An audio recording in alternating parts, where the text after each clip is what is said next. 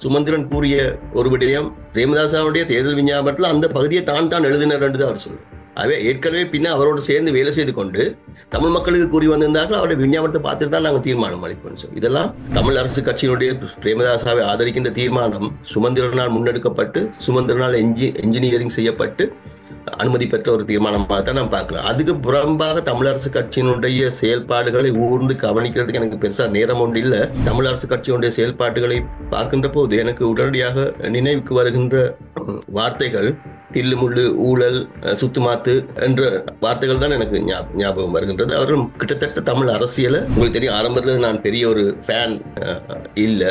பொது வேட்பாளர் என்ற கருத்துக்கு ஆனால் இப்பொழுது நிப்பாட்டப்பட்ட பிறகு அவர் நியாயமான வாக்குகளை ஆக குறைந்தது வடக்கு கிழக்கு மாகாணங்களில் பெற வேண்டிய ஒரு அவசியம் இருக்கின்றது என்று அவ்விதம் பெறாத பட்சத்தில் இப்போ நான் ரெண்டில் பார்க்குற இன்ட்ரெஸ்டிங்கான ஒரு விஷயம் என்னன்னு சொன்னால் சோஷியல் மீடியாவில் அனுரகுமார் திசாநாயக்காவுக்கு ஆதரவு அளிக்கிறதுல நிறைய முஸ்லீம் பெயர்களை நான் பார்க்குறேன். அந்த அடிப்படையில் சுமந்திரன் சிவி கே சிவஞானம் உட்பட தமிழரசு கட்சியினுடைய தலைவர்கள் தமிழ் வாக்காளர்கள் முட்டாள்கள் தான் நினைச்சு கொண்டிருக்கிறார் அரசியலில் நகர்த்தப்படும் காய்கள் திரை மறைவில் நடக்கும் ரகசிய பீரங்கள். உலகத் தமிழர் அறிந்தேயாக வேண்டிய உண்மைகளை தேடி ஒரு உடறுப்பு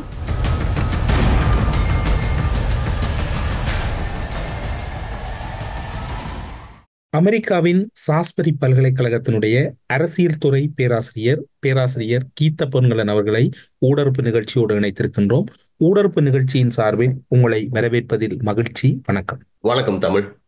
வடக்கு கிழக்கில் இன்னும் ஒரு பெரும் சலசலப்பு இடம்பெற்றுக் கொண்டிருக்கின்றது.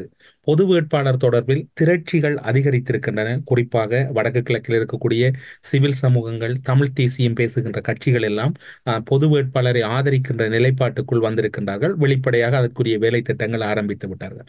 ஜனாதிபதி தேர்தல் இரண்டாயிரத்தி இருபத்தி நான்கில் கௌரவ சஜித் பிரேமதாச அவர்களை ஆதரிப்பது தொடர்பாக இலங்கை தமிழரசுக் கட்சியின் தீர்மானத்தில் எந்தவிதமான மாற்றமும் இல்லை. வவினியாவில் கூடிய மேற்படி தேர்தல் தொடர்பான குழு கட்சியின் தீர்மானத்தை நடைமுறைப்படுத்துவது தொடர்பாகவும் கௌரவ சஜித் பிரேமதாஸ் அவர்கள் தேர்தல் அறிக்கையில் குறிப்பிட்ட தமிழ் மக்களின் அரசியல் அபிலாசைகளை காலதாமதமின்றி நடைமுறைப்படுத்துவதற்கான ஒழுங்கு தொடர்பாகவும் அவருடன் பேசி தீர்மானிப்பதெனவும் முடிவெடுக்கப்பட்டது. இப்போது தமிழரசுக் கட்சியின் நிலைப்பாட்டில் சுமந்திரன் அணி சார்ந்து தமிழரசுக் கட்சியின் பதில் பொதுச் செயலாளர் சத்தியலிங்கத்தினுடைய அறிக்கை. இது தொடர்பில் உங்களுடைய நிலைப்பாட்டை கூறுங்கள். நான் தொடர்ச்சியாக ஏனைய விடயங்களையும் அதனோடு இணைத்துக் கொண்டு செல்கிறேன். தமிழரசு கட்சி நினைக்கின்றது தமிழ் வாக்காளர்கள் முட்டாள்கள் என்று சொல்லிட்டு.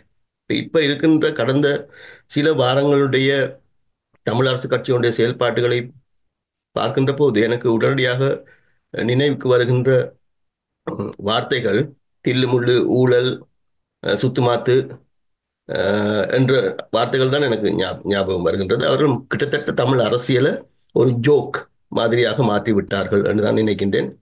இப்போ கடந்த காலத்தில் எவ்வளவு புத்திசாலிகளை கொண்டிருந்த ஒரு அரசியல் அது. அதுக்கப்புறமாக எவ்வளவோ தியாகங்கள் செய்யப்பட்டிருக்கின்றன. இவற்றை எல்லாத்தையும் மீறி இப்போ தமிழ் அரசியல் கிட்டத்தட்ட ஒரு ஜோக் மாதிரி ஆயிட்டுன்றது தான் இந்த தனிப்பட்ட அபிப்பிராயம். அதுக்கு பிரதானமான காரணி இப்போ இருக்கின்ற தமிழரசு கட்சியினுடைய பிரதானமான செயல்பாட்டாளர்கள் என்று தான் நான் நினைக்கின்றேன். இப்போ சில சில உதாரணங்கள் நான் சுட்டி காட்டுறதாக இருந்தால் இவ்வளவு காலம் சொல்லிக் கொண்டிருந்தார்கள். எல்லாருடைய தேர்தல் விஞ்ஞாபனத்தையும் பார்த்துட்டு அதுக்கு பிறகு நாங்கள் தீர்மானிக்கும் செய்வோம்னு சொல்லிட்டு. இப்போ பிரேமதாசாவுக்கு ஆதரவளிப்பதாக தீர்மானிக்கப்பட்டிருக்கின்றது. தேர்தல் பிரேமதாசாவுடைய தேர்தல் விஞ்ஞாபனத்தை பார்த்தீர்கள் சொன்னால் சொல்லப்பட்டிருக்கின்றது. புதிய அரசியலமைப்பு ஒன்று ஏற்படுத்தப்படுகின்ற வரை பதிமூன்றாவது திருத்தத்தை நாங்கள் நடைமுறைப்படுத்துவோம். அதுக்கு புறம்பாக எதுவுமே சொல்லப்படவில்லை. இப்போ புதிய அரசியலமைப்பு வந்தால் பதிமூணாவது திருத்தம் இருக்குமா இல்லையான்றது கூட எங்களுக்கு தெரியாது. அப்ப நீங்க எதை அடிப்படையாக வைத்துக்கொண்டு பிரேம்தாசாவுக்கு வாக்களிக்க முடிவு செய்தீர்கள் என்ற ஒரு கேள்வி வருகின்றது என்றால் பதிமூன்றை முன் நடைமுறைப்படுத்தினால் மட்டுமா போதுமா என்கின்ற ஒரு கேள்வி இருக்கின்றது. இப்ப அதுல இந்த அதுக்கு பிறகு தமிழ்ல சுமந்திரன் கூறிய ஒரு விடயம் நான் பார்த்த விடயம் அஹ், பிரேமதாசாவுடைய தேர்தல் விஞ்ஞாபனத்தில் அந்த பகுதியை தான் தான் எழுதினார் என்று தான் அவர் சொல்றார். இல்லை அது தமிழில் தான் ஜனாதிபதி அது அது அது அது டிரான்ஸ்லேஷனில் பிள்ளை. ஒரிஜினலில் இங்கிலீஷில் அப்படி ஜனாதிபதி அப்படியான தெளிவுபடுத்தல் உங்களுக்கு என்ன வழங்கப்பட்டிருக்கின்றது தெரியப்படுத்தல் இல்லை அது ஜனாதிபதியின் அஹ், அண்டு நீங்க சொன்னீங்கல்ல தமிழ் மொழிபெயர்ப்பில் அது இருக்கிற மொழிபெயர்ப்பு பிள்ளை தான் அது எனக்கு தெரியும் மொழிபெயர்ப்பு பிள்ளைண்டு ஏன்னா ஆங்கிலத்தில் அது எழுதப்பட்டது. ஆ, ஆங்கிலத்தில் எழுதப்பட்டதான் நீங்கள் கூறுகின்றீர்கள். நான் தான் எழுதி கொடுத்தேன் அந்த அந்த சொற்றொடர் எழுதி கொடுத்தா என் என்னுடைய சொற்றொடர் தான் அதில் இருக்குது. சயித் பிரேமதாசன் இதில் இருப்பது உங்களால் அந்த அந்த திரும்ப எடுக்கப்பட முடியாதது என்று சொல்லப்பட்டது நான் எழுதி கொடுத்தது. அவே ஏற்கனவே பின்ன அவரோடு சேர்ந்து வேலை செய்து கொண்டு தமிழ் மக்களுக்கு கூறி வந்திருந்தார்கள். அவருடைய விஞ்ஞாபனத்தை பார்த்துட்டு தான் நாங்கள் தீர்மானம் அளிப்போம். சொல்லி இதெல்லாம் தமிழ் வாக்காளர்களை முட்டாள்களாக கருதுகின்ற ஒரு செயல்பாடு. அது பிறகு சிவஞானத்தினுடைய ஒரு ஒரு பத்திரிகை மாநாடு ஒன்று பார்த்தேன். அதில் அவர் சொல்லியிருக்கின்றார் இப்போ எல்லாருடைய விஞ்ஞாபனத்தையும் பார்த்துட்டு தான் நாங்கள் தீர்மானிப்போம் என்று தீர்மானிச்சிருந்தோம் ஆனால் கூட்டத்தில் வேற யாரை பற்றியும் பேசல அவருடைய விஞ்ஞாபனத்தை மட்டும்தான் நாங்கள் பார்த்தோம். அது பற்றி மட்டும்தான் சுமந்திரன் அறிக்கை தெரிவிச்சிருந்தார் அதை வச்சுக்கொண்டு நாங்கள் அந்த தீர்மானத்தை எடுத்தோம். ஏனைய இரண்டு பேரை பற்றி எவருமே பேசவில்லை. சாதா பாதகமாக அனுகுமார் சாநாயக்கவோ ரணில் பற்றியோ பேசவில்லை. அவர் சஜித் பிரேமதாஸ் அவனுடைய இதை ஏற்றுக்கொள்ள அவருக்கு ஆதரவாக செயல்படுவது என்று முன்மொழிக்கப்பட்டது. அப்பொழுது நான் த- த- சொன்னேன் சரி அப்படி அந்த தீர்மானம் பெரும் எல்லோரும் பெரும்பான்மையாக அதற்கு அதுக்கு நான் உடன்படுகிறேன். ஆனால் கட்சி என்ற ரீதியில் நாங்கள் அந்த ஐக்கிய மக்கள் சக்தி வேட்பாளரான சஜித் பிரேமதாஸ் அவரை ஆதரித்து நாங்கள் கட்சி ரீதியாக பிரத பிரசாரத்தில் ஈடுபடுவதை தவிர்க்கலாம் என்ற கருத்தை நான் முன்வைத்தேன். அது எவ்விதம் ஞாபகம் நியாயமானதாக இருக்கும்? எல்லா விஞ்ஞாபனங்களையும் பார்த்துவிட்டு தீர்மானம் எடுக்க போகிறோம்னு சொன்னவர்கள் ஒன்றை மட்டும் வைத்துக்கொண்டு தீர்மானம் எடுத்தார்களாம். ஆனால் அதனை எடுத்த எழுதினவரே கூட அந்த தீர்மானத்தை எடுக்கிறதுக்கு உந்தினவர் தானாம். இதெல்லாம் தமிழ் மக்களையும் தமிழ் வாக்காளர்களையும் முட்டாள்களாக பார்க்கின்ற ஒரு ஒரு செயல்பாடு என்று நான் நினைக்கின்றேன். அதன் காரணமாக தமிழ் அரசு கட்சி நிராகரிக்கப்படுவது மிக நீண்ட காலத்தில் தமிழுடைய மக்களுடைய நலன்களுக்கு உகந்ததாக இருக்கும் என்று நான் நான் நினைக்கின்றேன். ரெண்டாவது பொது வேட்பாளர் என்ற ஒரு விடயம் முன்னெடுக்கப்படுகின்றது. உங்களுக்கு தெரியும் ஆரம்பத்தில் நான் பெரிய ஒரு ஃபேன் இல்லை. பொது வேட்பாளர் என்ற கருத்துக்கு ஆனால் இப்பொழுது நிப்பாட்டப்பட்ட பிறகு அவர் நியாயமான வாக்குகளை ஆக குறைந்தது வடக்கு கிழக்கு மாகாணங்களில் பெற வேண்டிய ஒரு அவசியம் இருக்கின்றது என்று அவ்விதம் பெறாத பட்சத்தில் தமிழ் தேசியவாத ஸ்லோகங்களுக்கு ஒரு விதமான மதிப்பும் வடக்கு கிழக்கில் இல்லை. தமிழ் வடக்கு கிழக்கு மக்கள் தென்னிலங்கை வேட்பாளர்களைத்தான் ஆதரிக்கிறார்கள் என்ற விதமான ஒரு கருத்து.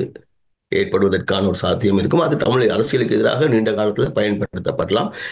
இந்த தமிழ் தேசியவாத ஸ்லோகன்ஸ் கொள்கைகளை முன்வைத்து போட்டியிட்ட பொது தமிழ் பொது வேட்பாளர் போதுமான வாக்குகளை பெறாது என்பது தமிழ் அரசியல் நிலைப்பாட்டை பலவீனப்படுத்துவதாக இருக்கும். அதன் காரணமாக தமிழ் அரசு கட்சியினுடைய ஒரு பகுதி பொது வேட்பாளருக்கு ஆதரவு வழங்குவதாகத்தான் தெரிகின்றது எனக்கு இந்த செய்திகளை பார்க்கின்ற போது. அது சரியான ஒரு ஒரு அணுகுமுறையாக இருக்கும் என்று நான் நினைக்கின்றேன். ஏனெனில் தம் பொது வேட்பாளர் போதுமான வாக்குகள் பெறாவிட்டால் அது தமிழ் மக்களுக்கு எதிரான ஒரு கருவியாக நீண்ட காலத்தில் பாவி பாவிக்கப்படும் என்று தான் நான் நினைக்கின்றேன். நீங்கள் இப்படி குறிப்பிடுகின்ற போது இன்னும் ஒரு விடயம் அங்கு மிக பிரதானமாக பேசப்படுகின்றது. செப்டம்பர் மாதம் முதலாம் தேதி நடைபெற்ற இலங்கை தமிழரசு கட்சியின் மத்திய குழு கூட்டத்தில் மேற்கொள்ளப்பட்ட ஜனாதிபதி வேட்பாளர் சஜித் பிரேமதாசாவை ஆதரிப்பது என்ற தீர்மானத்தை நான் ஏற்றுக்கொண்டதாக திரு சுமந்திரன் தெரிவித்த கருத்து உண்மைக்கு புறம்பானது என சிவஞானம் ஸ்ரீதரன் அவர்கள் ஊடக அறிக்கை ஒன்றை வெளியிட்டிருக்கின்றார். ஆனால் சுமந்திரன் குறிப்பிட்டார் அவருடைய கடிதத்தின் பிரகாரம் அந்த கடிதத்தில் உள்ள விடயங்களின் அடிப்படையில் அவரும் ஏற்றுக்கொண்டதாகவே பொருள் கூடும் என்று அவருடைய வியாக்கியானம் இருந்தது. ஆனால் ஸ்ரீதரன் தன்னுடைய சொந்த கருத்தினை இப்படி பதிவு செய்கின்றார். மாவை சேனாதி ராஜா குறிப்பிடுகின்றார் தமிழரசு கட்சியின் தலைவர் அன்று என்னுடைய உடல் நல குறைவினால் நான் கூட்டத்துக்கு செல்லவில்லை. தலைவர் என்கின்ற அடிப்படையில் சஜித் பிரேமதாசாவுக்கு அடிப்படையில் என்னுடன் பேச வேண்டும் என்கின்ற ஒரு விடயத்தை கூட அவர் அங்கு தவற விட்டு விட்டார். எனவே அந்த விடயங்களை அவர் என்னுடனும் பேசவில்லை என்னுடைய கூட்ட தீர்மானம் தொடர்பில் எனக்கும் தெரியாது.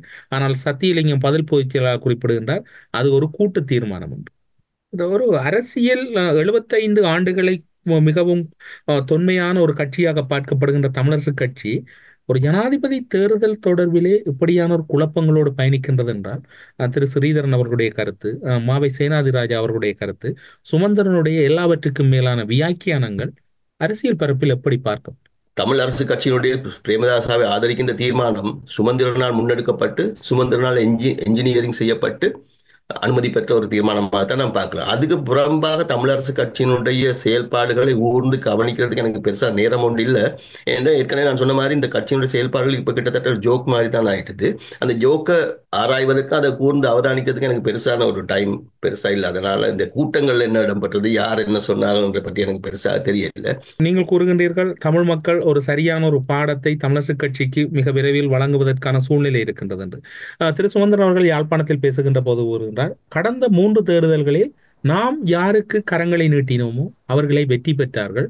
அந்த முடிவினைத்தான் மக்கள் எடுத்தார்கள். இம்முறையும் நாங்கள் சஜித் பிரேமதாசாவை நோக்கி கரங்களை நீட்டுகின்றோம் என்கின்ற ஒரு கருத்தை முன்வைக்கின்றார். அதை நீங்கள் எப்படி பார்க்கிறீர்கள்? இப்ப சந்தர்ப்பம் என்று பார்க்கின்ற போது தமிழ் வேட்பாளர்களுக்கு பாரதூரமான ஒரு சந்தர்ப்பம் வழங்கப்பட்டிருக்கின்றது. ஒரு ஒப்பர்ச்சுனிட்டி அவர்களுக்கு இருக்கின்றது. கடந்த காலத்துல தமிழ்ல இருந்து தமிழ் வேட்பாளர் ஒருவர் போட்டி தீவிரமாக போட்டியிடாததன் காரணமாக தென்னிலங்கை வேட்பாளருக்கு வாக்களிக்க வேண்டிய ஒரு அவசியம் தமிழ் மக்களுக்கு இருந்தது. பாரிய பொருளாதார அரசியல் பிரச்சனைகளை அடிப்படையாக கொண்டு அந்த தீர்மானத்தை அவர்கள் மேற்கொண்டிருந்தார்கள். அதில் ஒரு பகுதியாக தமிழரசு கட்சியும் அல்லது தமிழ் தேசிய கூட்டமைப்பும் கூட அதே விதமான தீர்மானத்துக்கு வந்தது ஒரு காரணியாக இருந்தது. இந்த முறை அப்படி இல்லை. இந்த முறை தமிழ் வேட்பாளர் ஒருவர் இருக்கின்றார். அதன் காரணமாக மாற்று ஆல்டர்னேட்டிவாக வாக்களிக்க வேண்டுமாக இருந்தார் மாற்று முறையின் அடிப்படையில் வாக்களிக்க வேண்டும் என்று அவர்கள் விரும்புவார்களாக இருந்தால் அவர்களுக்கு ஒரு தெரிவு காணப்படுகின்றது. இந்த தென்னிலங்கை வேட்பாளர்களை நிராகரித்து அவர்கள் பொது வேட்பாளருக்கு வாக்களிக்கலாம். அந்த சந்தர்ப்பம் அவர்கள் இருக்கின்றது. அந்த சந்தர்ப்பத்தை அவர்கள் பயன்படுத்திக் கொள்வார்களா என்றது எனக்கு இன்னும் சரியா தெரியல.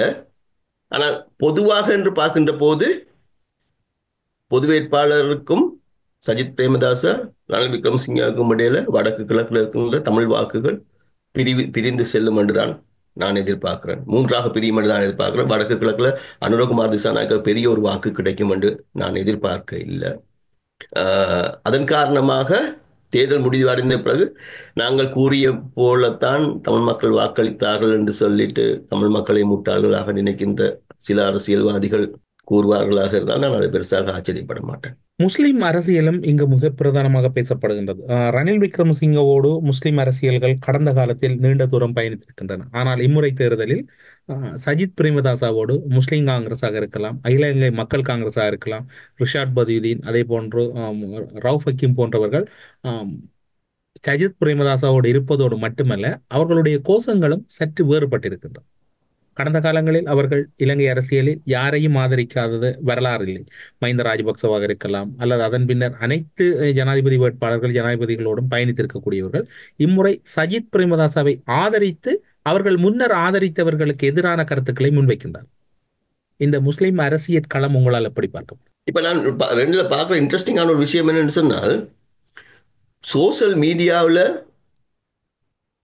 அனுரகுமார் திசாநாயக்காவுக்கு ஆதரவு அளிக்கிறதுல நிறைய முஸ்லீம் பெயர்களை நான் பார்க்குறேன்.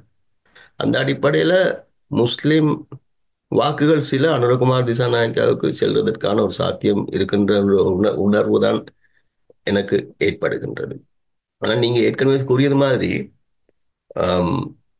கூறியது மாதிரி நிறைய முஸ்லீம் குழுக்கள் கட்சிகளும் சஜித்தோடு இணைந்திருக்கிறதன் காரணமாக சில பாரதூரமான அள மட்டத்திலான வாக்குகளை சஜித்தை நோக்கி நகர்த்துவதற்கான ஒரு இயல்மை அவர்களுக்கு இருக்கும். இப்போ இப்போ தமிழ் அரசு கட்சி கையை காட்டுற இடத்துல தமிழர்கள் வாக்களிக்க மாட்டார்கள் என்று எதிர்பார்க்குற மாதிரி முஸ்லீம் கட்சிகள் கையை காட்டுற இடத்துல மக்கள் வாக்களிப்பார்கள் சொல்லி எங்களுக்கு நிச்சயமாக தெரியாது. ஆனால் சில ஒரு மட்டத்திலான பாரதூரமான வாக்குகளை கொண்டு வரக்கூடிய ஒரு இயலுமை அவர்களுக்கு இருக்கும். அதன் காரணமாக தான் நினைக்கின்றேன் நான் நினைக்கின்றேன் இந்த தேர்தலில் சஜித் பிரேமதாச மிகவும் நல்ல ஒரு நிலையில பெர்ஃபார்ம் பண்ணுவார்.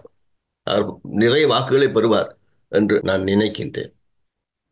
இப்போ அதில் இருக்கின்ற ஒரு அடிப்படை ரீதியான ஒரு ப- பெரிய கொள்கை விடயம் என்று நீங்கள் பார்க்குறீங்கன்னு சொன்னால் முக்கியமான விடயம்.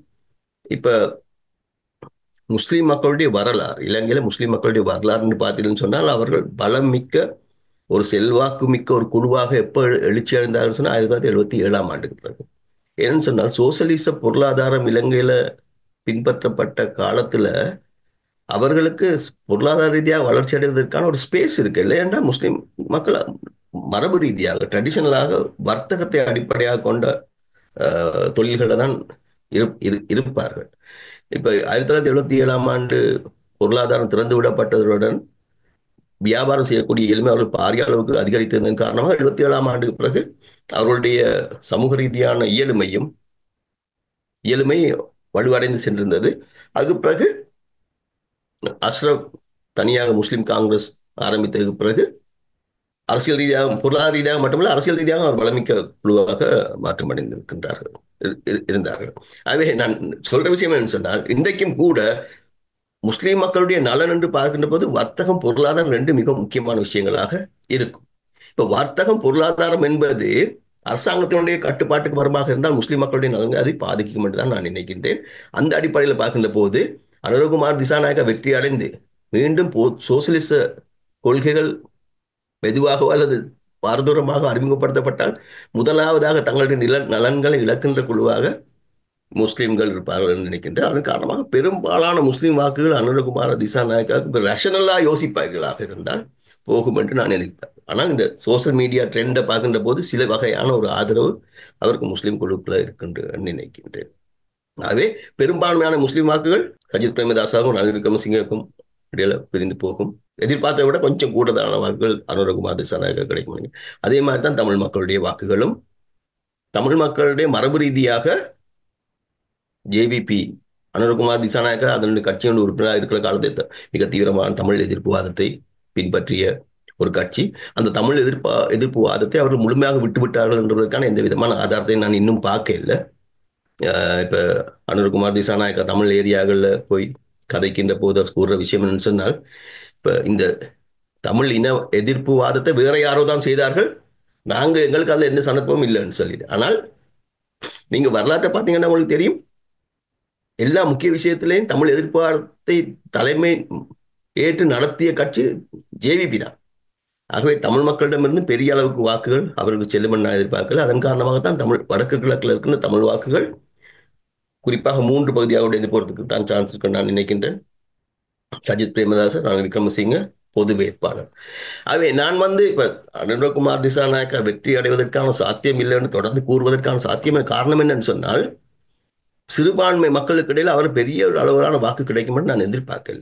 இப்போ சிறுபான்மை மக்களுக்கு இடையில வாக்குகள் இல்லாமல் சிங்கள மக்கள் வாக்குகளை மட்டும் அடிப்படையாக கொண்டு நீங்கள் வெற்றி அடைய வேண்டுமாக இருந்தால் சிங்கள வாக்குகள் மட்டும் ஒரு எழுபத்தைந்து எண்பது வீதமான வாக்கு கிடைச்சாதான் உங்களுக்கு சிறுபான்மை வாக்கு இல்லாமல் வெற்றி அடையலாம். அவருக்கு அந்த அளவுக்கு சிங்கள மக்களுக்கு இடையில வா செல்வாக்கு இருக்கின்றது என்று நான் நினைக்கிறேன்.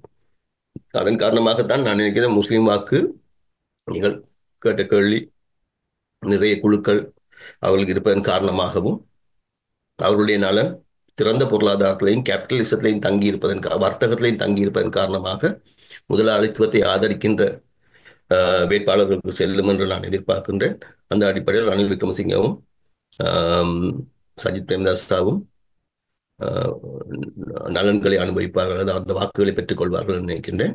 ஆனால் பூனம் ரெண்டாயிரத்தி பத்தொன்பதாம் ஆண்டுடன் ஒப்பிடுகின்ற போது சில குறிப்பாக யங் ஜெனரேஷன் அவர்களுக்கு இந்த வரலாறு தெரியாத யங் ஜெனரேஷன் வாக்குகள் கொஞ்சம் அவருக்கு போகிறதுக்கான சாத்தியம் இருக்கு என்று சோசியல் மீடியாவிலிருந்து இருந்து தெரியுது. ஆம் நீங்கள் குறிப்பிட்டீர்கள் முஸ்லீம் அரசியல் தலைமையுடைய நிலைப்பாடை குறிப்பிட்டீர்கள். இங்கு ஒரு குழப்பம் இருக்கின்றது என்னவென்று சொன்னால் முஸ்லீம் அரசியல் தலைமைகள் ஏதோ ஒரு வகையில் சஜித் பிரேமதாசோடு ஒப்பந்தம் ஒன்றை செய்து கொண்டுதான் தங்களுடைய ஆதரவு நிலைப்பாட்டை வெளிப்படுத்தி இருக்கிறார்கள் ஆனால் சி. வி. கே. சிவஞானம் அவர்கள் குறிப்பிடுகின்றார் உடன்படிக்கைகளும் ஒன்றும் இல்லாமல் சஜித் பிரேமதாசாவை ஆதரிக்க எடுத்த முடிவு சரியா என்று கேட்க கேள்விக்கு அதன் அடிப்படையில் பதிலளித்த தலைவர் அவர்கள் மாவிசே நகராஜ் அவர்கள். உடன்படிக்கை எதுவும் செய்ததாக தெரியவில்லை. அவ்வாறான இதுக்கு எனக்கு தெரியப்படுத்தவில்லை என்ற போரில் அது கருத்து தெரிவித்திருக்கார்கள் உண்மையாக உடன்படிக்கை என்ற விடயம் வந்து இருசாரார் சம்பந்தப்பட்டது தான் உடன்படிக்கை இரண்டு பக்கம்.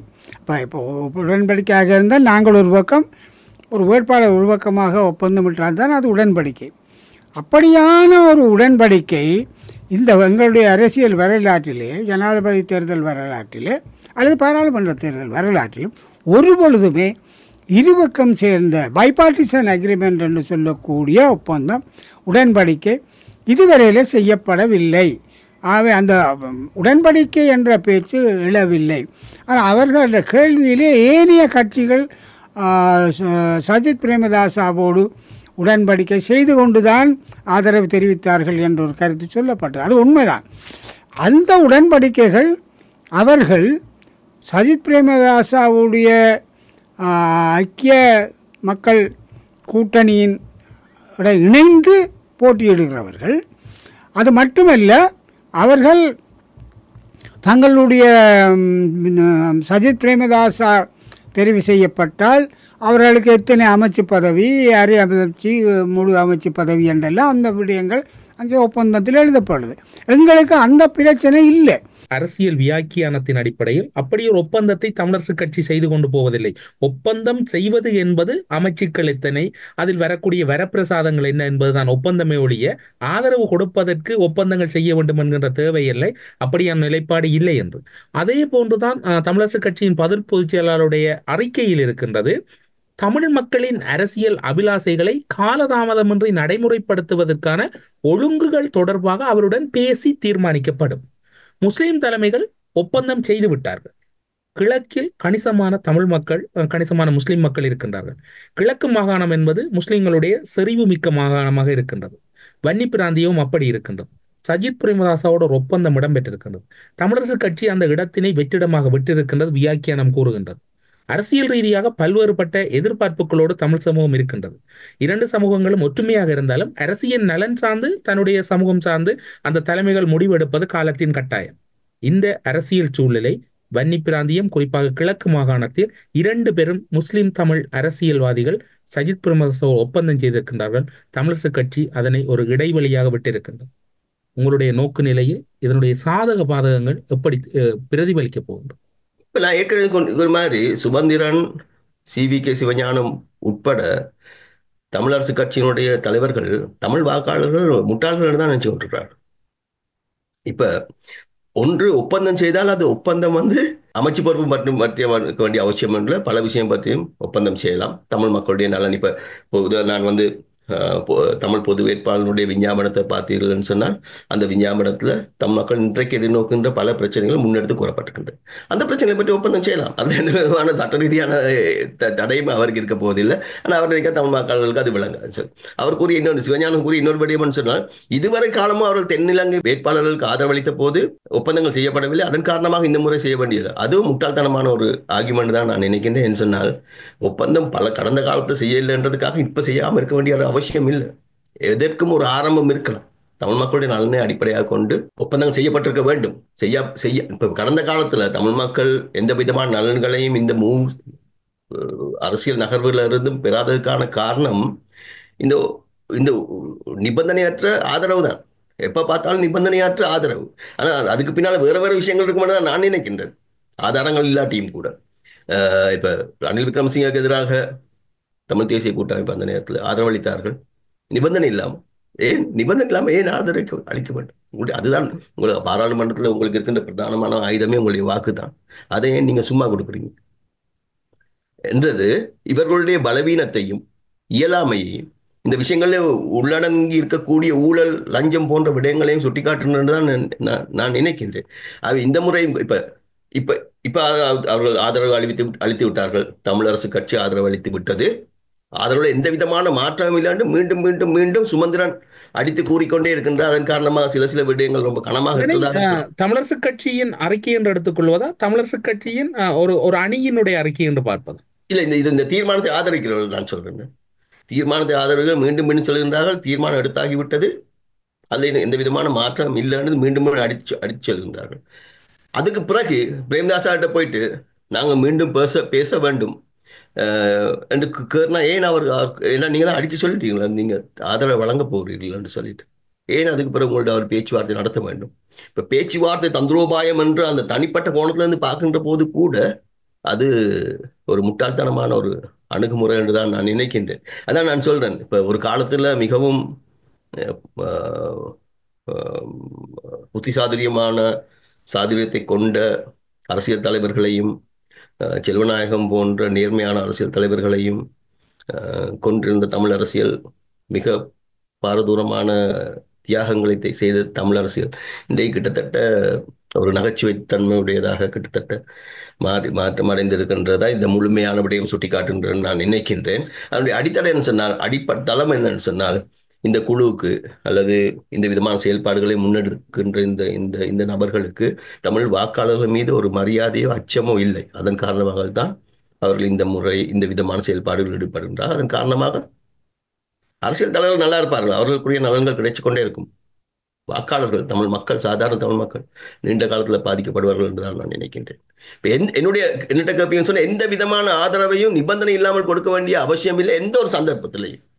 அதனை முஸ்லீம் அரசியல் கட்சிகள் சிறப்பாக செய்து வருகிறார்கள் என்று நான் நினைக்கின்றேன் முஸ்லிம் தலைமைகளுடைய ஒப்பந்தத்தினுடைய வெளிப்பாடு குறிப்பாக ஒருவேளை சஜித் பிரேமதாச ஜனாதிபதியாக வெற்றி பெற்றால் அதனுடைய வெளிப்பாடுகள் அல்லது அந்த சமூகம் சார்ந்து அவர்கள் செய்திருக்கக்கூடிய உடன்பாட்டினுடைய தன்மைகளினுடைய பிரதிபலிப்புகளை தமிழ் சமூகம் கிழக்கு மாகாணம் குறிப்பாக வன்னி பிராந்தியத்தில் எதிர்கொள்ளும். அது பொறுத்திருந்து பொறுத்திருந்து பார்க்கணும். பொறுத்திருந்து பார்க்கணும். தேர்தல் தேர்தல் முடிவை பார்க்கணும் அது பிறகு என்ன நடக்கின்றது என்பதை பார்க்கணும்.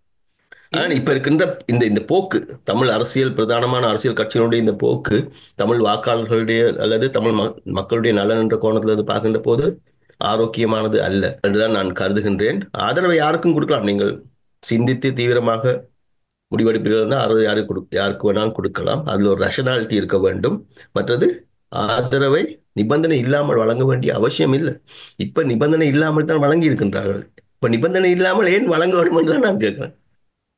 ஊடறுப்பு நிகழ்ச்சியில் அரசியல் மற்றும் சமூகம் சார்ந்திருக்கக்கூடிய முக்கியமான விடயங்களோடு இலங்கையினுடைய ஜனாதிபதி தேர்தலினுடைய பிரதிபலிப்புகளும் அதனுடைய தன்மைகளும் எவ்வாறு எதிரொலிக்க இருக்கின்றன? தமிழ் தரப்பில் குறிப்பாக இலங்கை தமிழரசு கட்சியினுடைய முடிவுகளும் அதனுடைய பின்னடைவு நிலையும் மக்களினுடைய மனநிலைகளும் தமிழ் பொது வேட்பாளர் எந்த அளவில் இந்த விடயத்தை அடுத்த நிலைக்கு எடுத்துச் செல்ல இருக்கின்றார் தென்னிலங்கையின் அரசியற் களத்தில் மூன்று பிரதான வேட்பாளர்களில் மக்களினுடைய தெரிவுகள் யாரை நோக்கி செல்லப் போகின்றன என்கின்ற மிக முக்கியமான ஆளுமை மிக்க கருத்துக்களை ஊடறுப்பு நிகழ்ச்சியின் வாயிலாக பகிர்ந்து கொண்டமைக்கு சிறப்பு நன்றிகளோடு உங்களிடமிருந்து விடைபெற்றுக் கொள்கிறோம். நன்றி வணக்கம். நன்றி தமிழ். அரசியலில் நகர்த்தப்படும் காய்கள். திரை மறைவில் நடக்கும் ரகசிய பீரங்கள். உலகத் தமிழர் அறிந்தேயாக வேண்டிய உண்மைகளை தேடி. ஒரு உடறுப்பு